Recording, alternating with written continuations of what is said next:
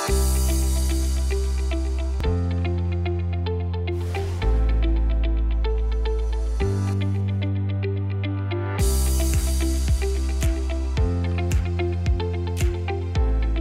my mind, there is no institution on corporate governance in India that matches up to excellence enablers.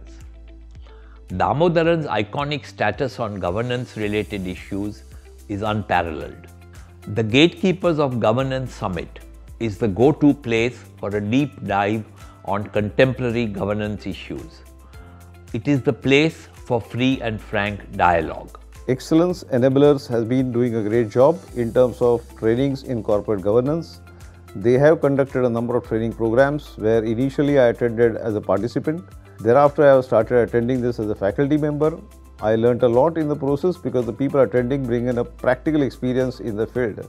They also conduct programs for the board positions, people who wish to be on the board, people who are already on the board, and I think what is the best in that is they bring a practical experience which is really useful to the organizations. I'm sure this will add great value to the governance structure and in the process, the economic resources of the country will get better utilized. I wish them all the best.